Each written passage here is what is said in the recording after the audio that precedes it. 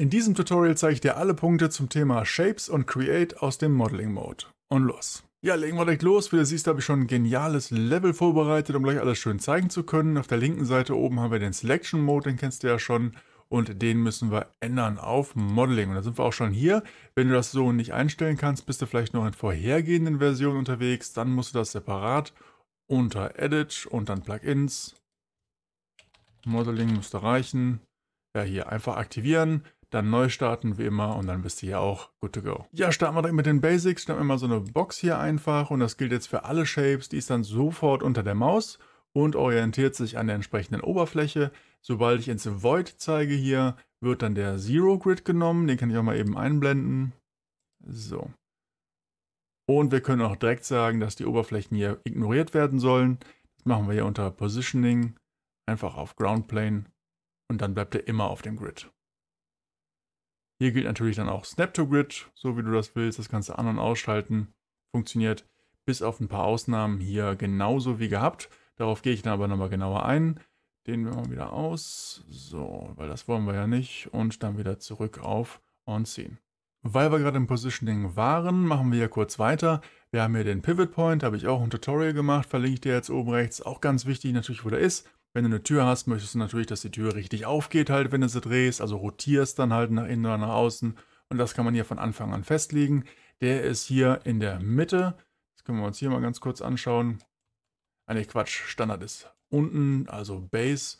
Und den kann man auch auf Center setzen, wie du siehst. Und natürlich auf Top. Und je nachdem, wo der ist, kann man ihn natürlich rotieren, so wie man das braucht halt, ne? kennt man ja. Und das mache ich jetzt mal rückgängig. So, und auch das hier. Ähm, dann haben wir die Rotation noch, aber ich denke, das ist klar. Das kommt halt, wenn du, also bevor du ihn gesetzt hast. Ich cancel das mal out, Box, und dann haben wir ja schon eine leichte Rotation drin. Jetzt hier nochmal ändern. Sieht man ja. So, dann wieder zurück. Ähm, Align to Normal ist auch klar, denke ich. Wenn du jetzt hier auf die Oberfläche guckst oder an die, auf die Ausrichtung und der geht auf so eine Schräge, dann wird er sich da auf jeden Fall anpassen. Wenn du das nicht möchtest, dann einfach raus damit und dann bleibt er so, wie er ist. Dann haben wir hier oben unter Shapes die Width, Depth und Height und das kann man auch dann verändern, also jetzt schon, wenn man möchte. Oder eben auch später.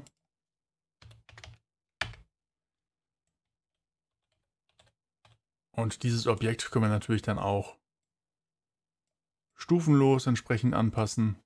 Ich mache das mal wieder rückgängig. So, die Subdivisions können wir auch anpassen und zwar für alle Bereiche. Damit wir das sehen können, können wir jetzt hier natürlich die Sicht anpassen oder direkt hier auch die, wo ist er? Äh, da, Wireframe war ich schon mit der Maus drauf. Und dann können wir auch hier die ganzen Objekte ein bisschen komplexer gestalten. Ich mache einfach mal alles auf 10. So, das ist natürlich später wichtig, wenn wir uns ums Tree-Modeln, Deformen und so weiter, Transformen, also das ganze Bending und so weiter von diesen Meshes dann ähm, zu Gemüte führen werden. Das machen wir jetzt noch nicht. Jetzt bleiben wir erstmal hier oben.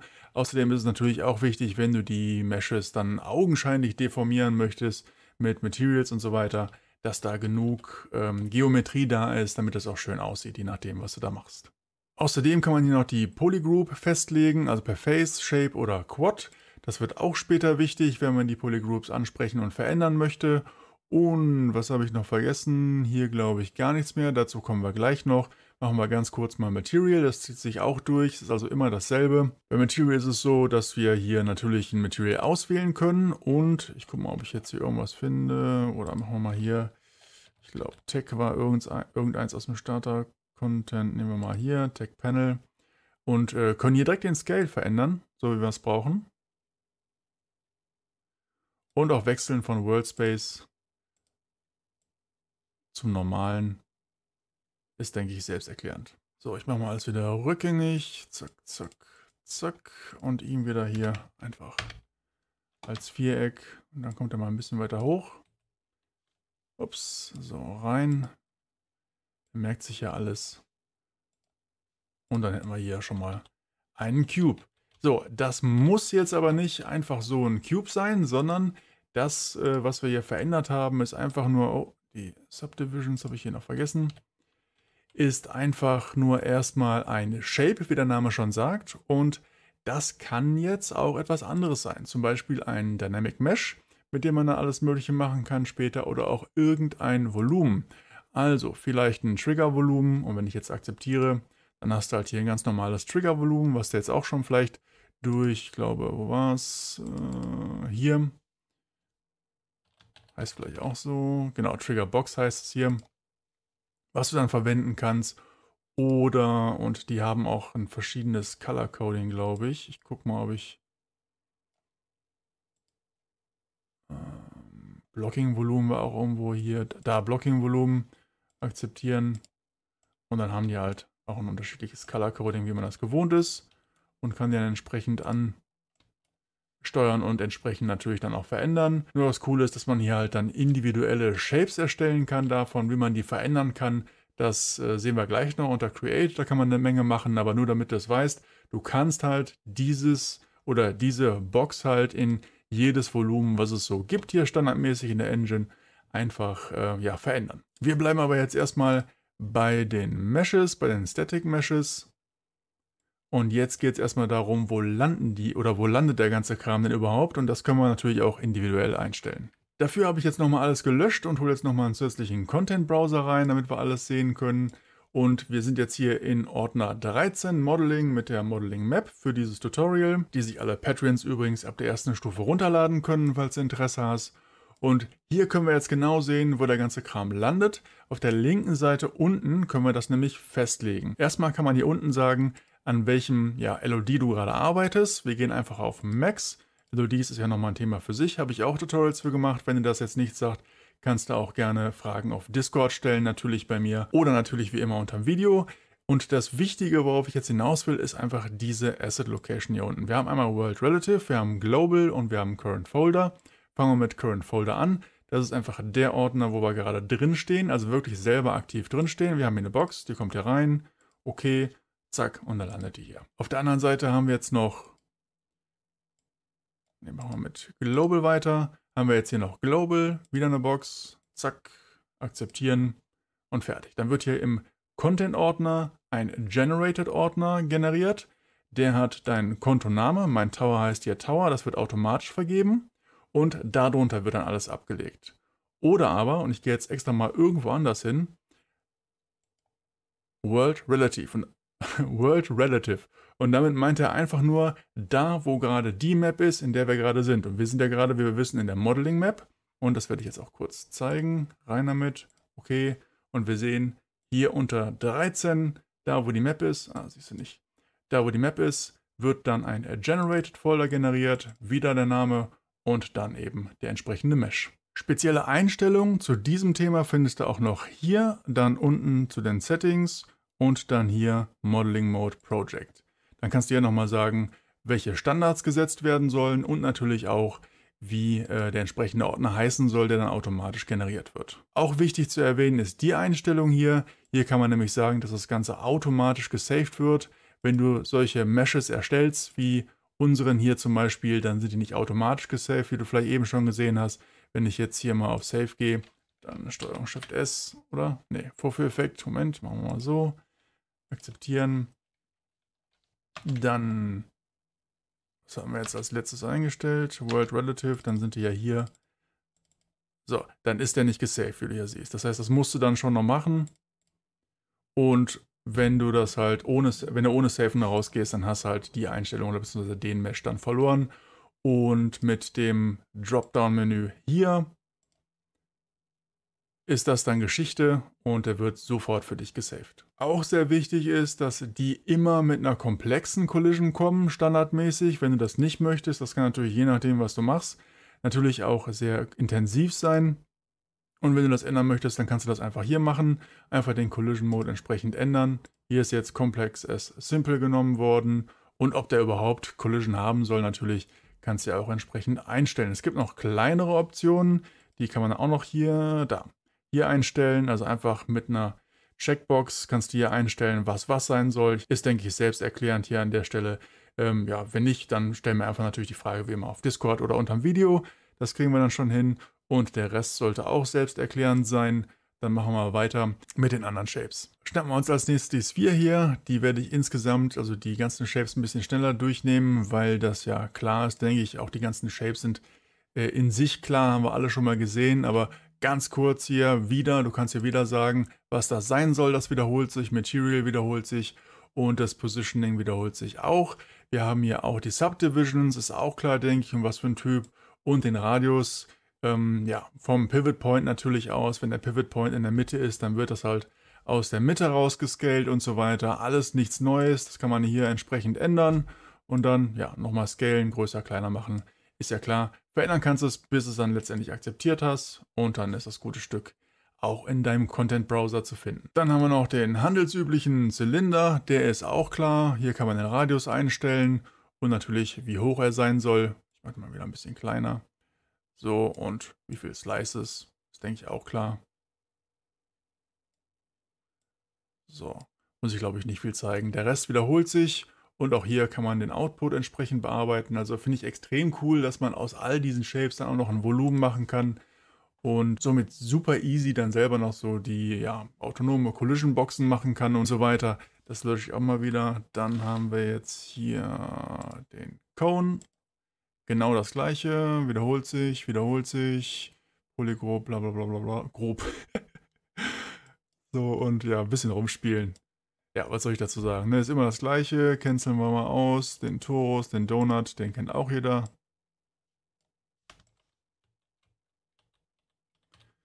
So, muss man nicht mehr in Blender machen, den Donut. Obwohl, wir hatten jetzt hier, glaube ich, haben wir auch schon einen drin, standardmäßig. Und den halt größer und kleiner machen und auch die Slices und so weiter. Bisschen komplexer machen. Das wiederholt sich, das auch. Cancel ich mal eben raus. Dann haben wir hier ein Arrow. Dann haben wir auch noch eine Rectangle hier. Muss mal eben hoch. Dann eine Disk. Die zeige ich jetzt einfach mal. Ist ja auch klar, was das macht. Das Stairs-Tool hatten wir auch schon oder haben wir auch schon seit 10 Millionen Jahren in der Engine. Ist genau das gleiche. Ne? Du kannst einfach sagen, so wie breit die sein soll, wie hoch die sein soll, die Tiefe und halt dann hier curved zum Beispiel oder so und wie viele Steps das sein soll und so weiter. Der Rest, ähm, ja, der Rest wiederholt sich auch wieder und damit haben wir auch die Shapes abgehandelt. Achso, nee, wir haben jetzt hier noch einen Modus, wie wir den vorher kippen können. Alles vom Pivot Point natürlich aus und wie wir das jetzt hier grundsätzlich noch frei bewegen können. Das Ganze können wir natürlich aber auch mit dem Gizmo machen. Das Gizmo kannst du aber dann, wie du ja weißt, auch hierfür dann einfach ausschalten und dann entsprechend äh, so bewegen, wie du möchtest und auch die Einstellungen benutzen. Aber ja, jetzt haben wir es auch wirklich. Das sind alle Shapes und auf Grundlage von den Shapes können wir auf jeden Fall jede Menge Kram machen hier unter Create und das kommt als nächstes. Fangen wir an mit Poly Extract oder Extrude besser gesagt. Einfach hier raus. Du siehst hier einfach äh, an dem Raster kannst du dich orientieren. Der snappt auch und du musst jetzt nicht auf dem äh, Raster bleiben, was hier, sag ich jetzt mal, sichtbar ist, sondern du kannst auch hier hinten snappen, so wie du Lust hast und dann irgendetwas verbinden. Und wenn du es verbunden hast, das mache ich jetzt automatisch, dann wird schon etwas ex extruded und ja, das, dasselbe Extrude halt wie bei Blender zum Beispiel auch. Und dann wird das Ganze für dich generiert. Und wie komplex das Ganze sein soll, das kannst du natürlich dann selber entscheiden.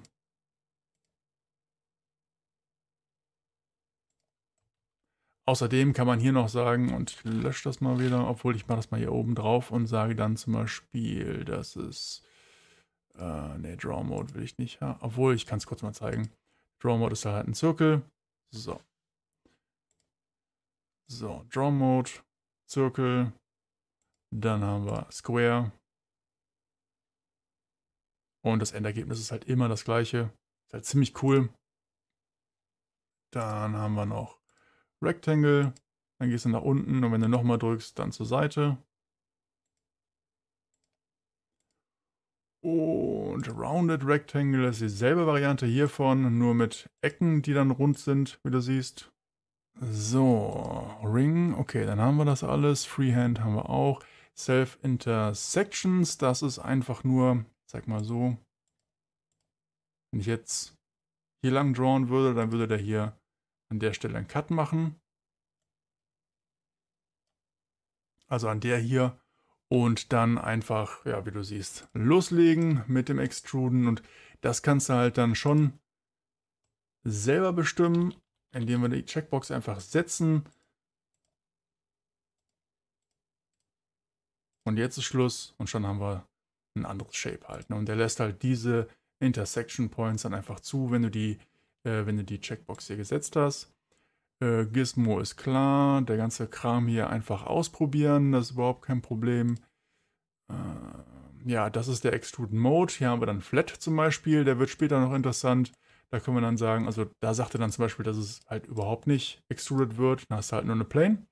Und wir können auch Fixed machen. Das geht dann auf 100 hier, weil wir es hier eingestellt haben. Dann weißt du auf jeden Fall, der ist immer 100 hoch. Und das, was man danach zeichnet, ist dann eben auch auf jeden Fall 100 hoch. Habe ich nicht getroffen? So. Und hat halt immer die gleiche Höhe. Also auch ein cooles Feature. Ich stelle es mal wieder zurück. Dann haben wir hier Snapping. Ja, das kann ich auf jeden Fall nochmal zeigen. Das ist neu und das wiederholt sich. Ja, zeigen wir das nächste Mal Snapping. So, ich habe den Grid mal weiter runtergebracht hier an der Stelle. Also Snap to Vertices. Ich starte hier einen und er ist auf jeden Fall schon in dem Snap-Modus, wie du siehst. Aber wenn ich hier in die Nähe von so einem Vertice komme, also von so einer Ecke, dann siehst du, dann hat er hier automatisch so einen hellen Punkt, also so einen gelben Punkt.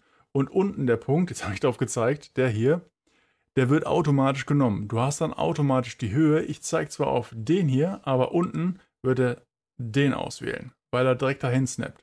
Und das kann ich halt ausnutzen. Ich kann dann halt auch hier drauf gehen oder hier drauf gehen und sofort hier sicher sein, dass der an die Ecke snappt und dann auch wieder zurück und das dann hochsnappen und weiß, dass das hier wirklich ein perfektes Match ist. Also das ist sehr wertvoll, das äh, Snap-to-Vertices-System. Dann gibt es noch Edges, das ist auch klar, das sind halt nur die Ecken.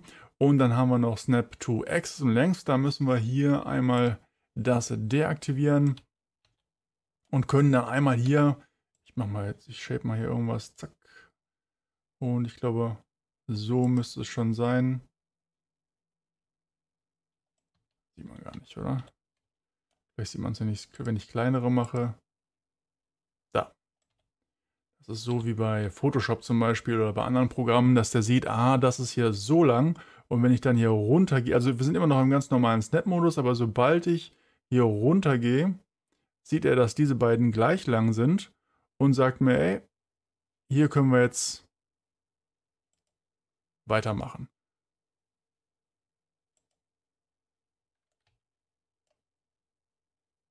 Und hier dasselbe. Ich weiß, es ist genauso lang wie da hinten, also kann ich jetzt wieder weitermachen. Und auf der Linie kann ich jetzt auch wieder snappen. Der ist sogar so äh, intelligent und weiß das in dem Moment, wo ich dann immer diese Linie berühre.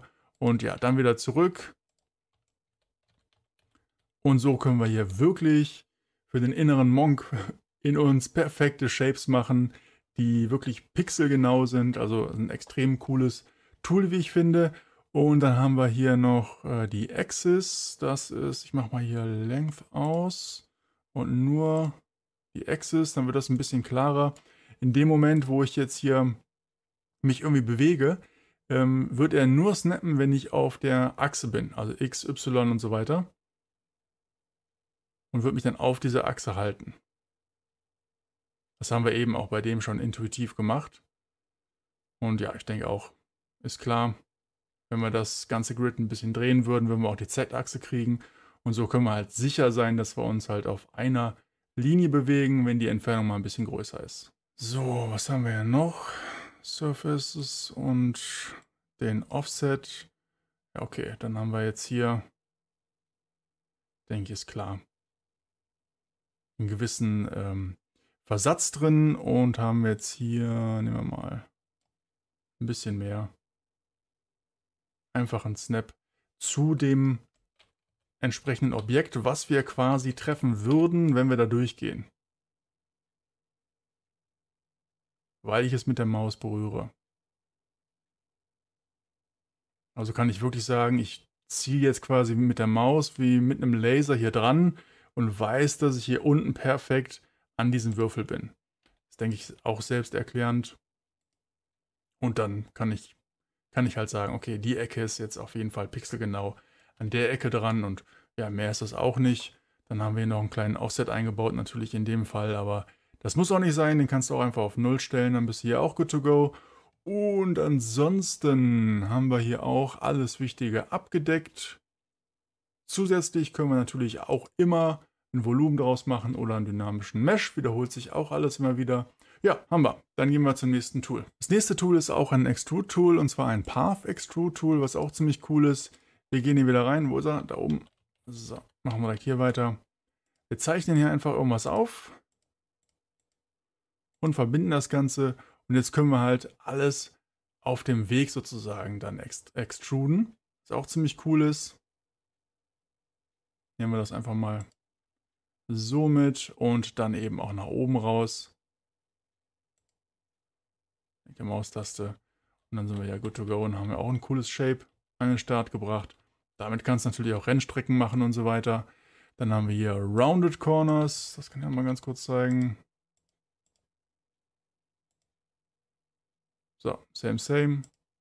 Nur mit abgerundeten Kurven hier. Und wie rund die sein sollen und der ganze Kram. Der äh, ja, versteckt sich natürlich hier. Dann haben wir hier Fixed. Äh, da können wir auch wieder festlegen, wie breit es sein soll. Da müssen wir uns da nicht drum kümmern. Und ansonsten same, same. Auch wieder Flat und so weiter. Der ganze Flat-Modus wird auch noch gleich interessant im nächsten Tool. Aber ich glaube, das war es auch schon. Wir können, ne, sonst ist im Grunde genommen alles gleich. Äh, gehen wir direkt zum nächsten Tool. Wir können hier einen Weg markieren und vielleicht lösche ich das mal lieber. So. Gerade in der Mitte und an der Seite dann ein bisschen zackiger und geht dann rein.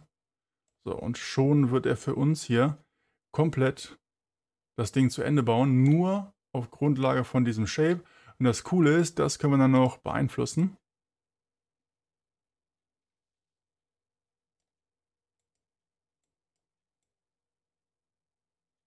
Aufpassen kann man natürlich auch breaken hier. So, und da hört es jetzt nicht auf, diese ganzen Einstellungen hier, die sind ein bisschen was Besonderes, wie ich finde, deswegen gehe ich da nochmal drauf ein. Das meiste ist auch selbst erklärend, also ich meine, wir können jetzt hier reingehen, in der Mitte ist natürlich ein, ähm, ja, ein Cube, wenn man so, ne Quatsch, eine Röhre. Ähm, und das kann man halt aufklappen, indem wir hier die Gradzahl ändern, was auch ziemlich cool ist bin ich natürlich auf der falschen Seite. So. Und auch, und gut, dass der Wireframe da ist, haben wir dann noch, obwohl das machen wir später, äh, dann hier ein Offset. Da kannst du halt dann einfach nur mal von der Drehung den Offset an den Start bringen und wie detailliert das sein soll hier. Einfach auch nur mit ein paar Mausbewegungen machen wir das nochmal wieder. Ja, machen wir es einfach nochmal wieder. So, dann die Anzahl der Steps haben wir jetzt hier und den Height Offset. Dann können wir das umdrehen. Ich mache das mal wieder hier auf 360. Dann sieht das ein bisschen schöner aus. So, Reverse. Und auch nach unten natürlich. Und dann reversen. Oder was auch cool ist, was man hier jetzt vielleicht gar nicht so sieht ähm, ist Flip Mesh, aber das zeige ich mal am besten in einem anderen. So. Äh, machen wir es mal so und dann ein bisschen größer und dann so. Dann haben wir jetzt hier, und das brauchen wir nicht. Haben wir jetzt hier drin quasi einen Raum. Ich könnte natürlich jetzt auch sagen, dass der innen dann nochmal hohl sein soll, aber der ist jetzt absichtlich in der Mitte und geschlossen. Und hier können wir jetzt sagen, äh, dass er geflippt werden soll. Und das bedeutet, dass wir jetzt hier quasi schon ein Level haben. Sind jetzt hier schon drin. Und das können wir nachdem wir das gebaut haben, natürlich auch nochmal ändern und dann hier noch ein Loch reinbringen. So, dann hast du jetzt hier, dann hast du hier so einen Gang quasi. Und damit kann man dann in Verbindung äh, mit den anderen Tools natürlich die ganzen Levels bauen. Flippen wir den nochmal. So, dann Sharp Normals. Ich weiß gar nicht, ob man den jetzt hier so sehen kann. Außerdem kann man natürlich dann hier noch dann mit dem Angle spielen, wann etwas sharp sein soll und wann nicht.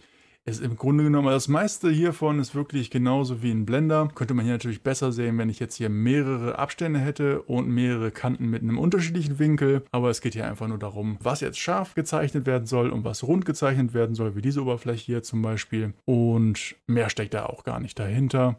Dann haben wir das alles. Hier auch wieder Objekttyp. Äh, Snapping. Ne, sind wir hier auch good to go. Ja, also hier kann man auch super viel machen. Ähm, Finde ich auch ein extrem cooles Tool. Ich lösche das auch mal wieder oder cancel mal eben out. So, das nächste ist ausgegraut. Dafür brauchen wir eine flache Oberfläche. Da können wir jetzt zum Beispiel die Disk nehmen und die einfach hier hinlegen und diese Disk dann anklicken und dann auf das andere Tool. Moment. So. Und schon wird das weitergebaut für uns. Und mit diesem äh, Gizmo hier kann ich jetzt nicht, äh, kann ich jetzt nicht sagen, dass das irgendwie gescaled werden soll, sondern den Punkt, um das das sozusagen gebaut wird, kann ich jetzt hier beeinflussen. Was auch ziemlich cool ist. Wenn ich näher dran bin, dann eben so und kann hier dann die verrücktesten Sachen machen. Also richtig, richtig cool. Ähm, hier haben wir jetzt einfach mal einen Ring. Wir haben auch die Möglichkeit, das mit unterschiedlichen Shapes zu machen. Zum Beispiel könnten wir hier, nehmen wir mal das hier und gehen hier auf, ne, lassen wir das mal so und Flat, dann können wir es einfach zeichnen. Dann ja, machen wir mal so. Zack. Und weil wir auf Flat gestellt haben, ist es ja schon Flat.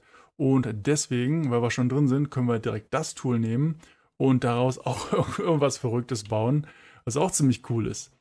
Und was auch immer das dann sein mag, ein riesiges Triebwerk oder was auch immer du möchtest, die Grenzen hier, sage ich jetzt mal, die gibt es eigentlich gar nicht. Hiermit kannst du alles machen. Das kann man natürlich auch wieder hollow machen oder das kann man später auch natürlich mit anderen verbinden oder Löcher reinmachen oder sonst was. Also ist auf jeden Fall mittlerweile krank, was man in der Engine alles machen kann. Spielen ein bisschen hier mit, mit dem ganzen Kram rum. Ich würde sagen, eine Stunde oder so. Und dann hast du das meiste hier drauf. Oder guck dir das Video noch mal ein, zwei Mal an.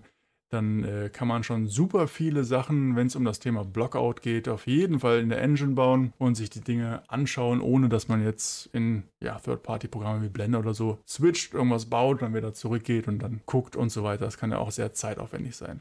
Ja, das ist das Tool. Hier gibt es natürlich auch wieder äh, entsprechende Einstellungsmöglichkeiten, wie viel. Das heißt, man kann das hier zum Beispiel aufklappen, genauso wie bei einem anderen auch. Hätte ich vielleicht besser mal bei einem normalen Kreis gezeigt, aber naja.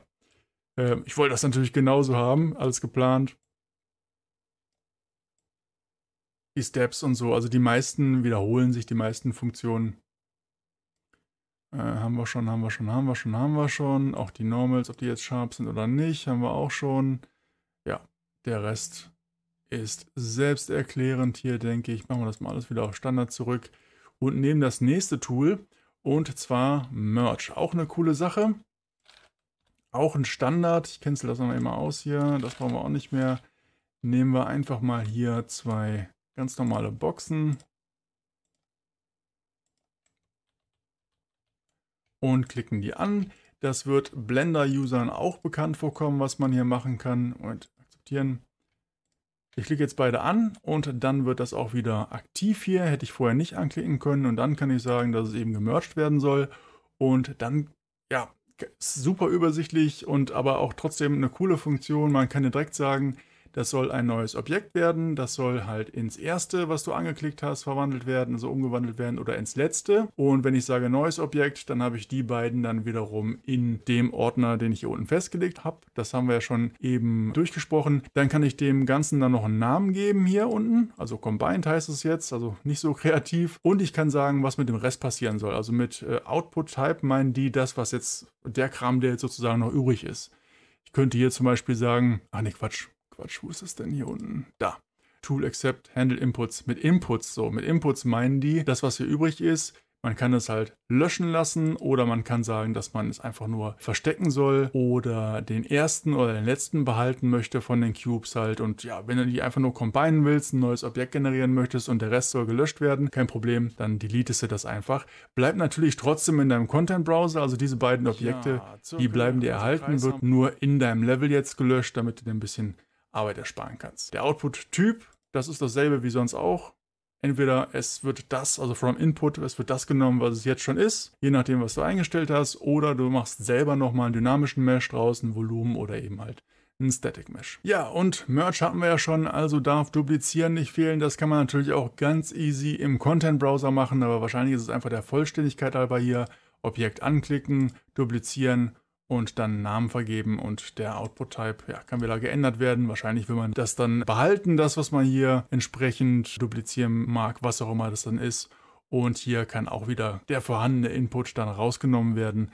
Warum man das auch immer machen mag, mache ich mir jetzt keinen Reim drauf, so, weil ich müsste ja eigentlich, beziehungsweise im Level duplizieren, dann will ich das sehr wahrscheinlich behalten, aber wahrscheinlich alles der Vollständigkeit halber hier hinterlegt. Zu guter Letzt haben wir hier unter Create noch das Pattern. Dazu musst du auch irgendwas angeklickt haben dann auf Pattern und ja, wie der Name schon sagt, kannst du hier deine ja, Wunschpattern mit inklusive Seed dann einfach zusammenstellen, also ob es eine Line sein soll, ein Grid oder sonst was und das dann entsprechend verändern. Äh, hier passiert natürlich nicht viel, weil wir hier noch nicht viel eingestellt haben, aber du kannst hier wirklich individuelle Rotations und so weiter einstellen und dann einen individuellen Seed wählen, der dann diese Rotations und deine ganzen Ausrichtungen dann entsprechend bearbeitet, also ein ganz normaler Seed eben und ja, wie viel es sein soll, wie, wie die zueinander stehen soll und äh, die Ausrichtung. Dann haben wir hier die Step Size, also haben wir hier schön nebeneinander. Das Ganze können wir dann auch noch vergrößern und verkleinern und so weiter. Ich denke, ist auch alles selbsterklärend, auch auf welcher Plane das geschehen soll und ja, Zirkel, also Kreis haben wir ja auch noch, das ist noch sehenswert. Ansonsten denke ich, ist das ja auch alles selbsterklärend. Aber auch hierzu schreib mir einfach einen Kommentar, schreib mir einfach eine Frage ins Video oder komm wie alle anderen auch einfach auf Discord vorbei und stell deine Frage da. Dann können wir ein bisschen darüber diskutieren. Mich würde auch interessieren, ob du das Ganze wirklich aktiv nutzt. Ich bin jetzt gerade so ein bisschen eingestiegen und schau mal, wo mich die Reise da hinführt und wie weit ich das System hier überhaupt pushen kann. Ja, schön, dass du bis jetzt dabei geblieben bist. Wenn dich das Thema interessiert, lass gerne ein Like da. Bei großem Interesse mache ich hier natürlich sehr gern weiter und dann schauen wir uns mal hier Tree-Model und die Form an und den ganzen Kram. Auch sehr interessant, was man damit alles machen kann. Lass natürlich ein Abo da, um keine Videos mehr zu verpassen. Und wenn du mich und den Channel unterstützen möchtest, dann kannst du das sehr gerne über Patreon tun. Und wenn du eine Frage hast oder einfach mal über die Unreal Engine quatschen möchtest, dann komm sehr gerne auf meinem Discord-Server vorbei. Da sind wir jetzt schon über 300 Leute, die sich zusammengefunden haben zum Thema Unreal Engine und helfen uns da alle gegenseitig weiter und zeigen unsere Projekte. Ich wünsche dir natürlich auch viel Erfolg bei deinem aktuellen Projekt und ich würde sagen, wir sehen uns wie immer im nächsten Video. Unreal Engineer out.